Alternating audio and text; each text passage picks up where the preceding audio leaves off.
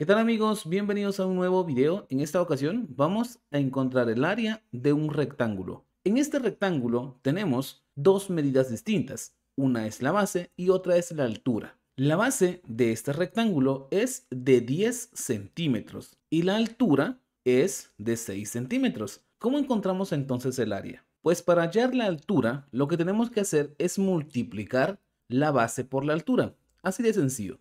Base por altura. Y como ya tenemos esas medidas, solamente las multiplicamos. Podríamos multiplicar 10 por 6, pero es conveniente utilizar la unidad de medida. De tal manera que voy a colocar 10 centímetros por 6 centímetros. Multiplicamos 10 por 6 y esto me da 60. Por lo tanto, el área es igual a 60. Pero también tenemos que multiplicar las unidades de medida. Así que centímetros por centímetros me quedan centímetros cuadrados. Y de esta manera ya tengo la respuesta. El área del rectángulo que tenemos acá es de 60 centímetros cuadrados. Tiene 6 centímetros de altura y 10 de base. Veamos un segundo ejemplo. Hallemos ahora el área del siguiente rectángulo. Vean que este rectángulo es más vertical, quiere decir que tiene la base más pequeña y la altura es mucho más grande. Pero sin importar esto, la fórmula o la ecuación que vamos a utilizar será la misma.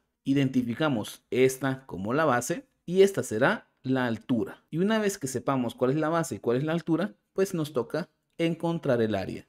El área es igual a base por altura. Ya sé que la base es 4 centímetros, pero vamos a colocarlo con toda su unidad de medida, 4 centímetros, por la altura, que es 20 centímetros. Multiplicamos 4 por 20 y esto es 80. Así que tenemos 80 de área. Pero la unidad de medida también se debe de multiplicar. Centímetro por centímetro me queda centímetro cuadrado. Y de esta manera, pues ya tengo resuelto el ejercicio. Hallar el área de un rectángulo es sumamente fácil. Solamente multiplicamos la base por la altura. Si este video les ha sido de utilidad, les invito a suscribirse y a dejar sus dudas en los comentarios.